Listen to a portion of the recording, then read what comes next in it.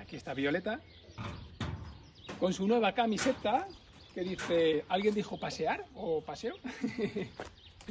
Porque ella le encanta caminar. ¿Verdad que sí?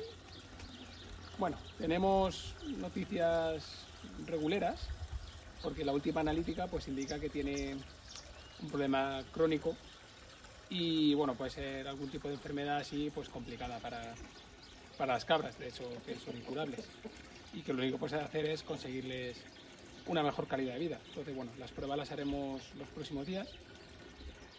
Pero bueno, ella está bien, tiene momentos más, más críticos, le dan espasmos, tal, bueno, pero tiene mucho cariño, eso sí.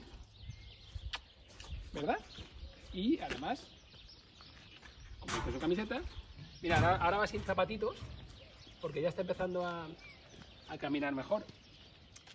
Os lo recuerdo, cuando cuando ella se queda fuera. Uy, mira, pero ahora está andando. Muy bien, Violeta. ¿Alguien dijo pasear? Lo dijo Violeta. Uy. No, por lo menos interactúa, olisquea, intenta coger un poquito de heno más seco que, ¿eh? Parece del heno del desierto, este que se ha quedado aquí sequito.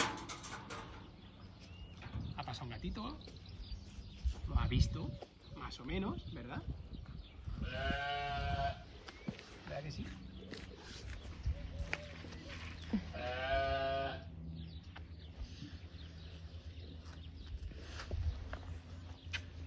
Bueno, todo indica que puede tener una inflamación en el cerebro y que le provoca esos espasmos, ese tipo de cosas. Esa conducta un poco extraña o particular. ¿Quién te quiere a ti? ¿Quién te quiere a ti? ¿Yo? ¿No? Y yo. Así que nada, vamos a seguir trabajando en que mejore, en que tenga la mejor calidad de vida, tenga mucho cariño ¿eh? y que sea muy feliz. Sean unos meses, unos años, el tiempo que sea, ella va a estar muy bien. Y de eso me encargo yo. Uy.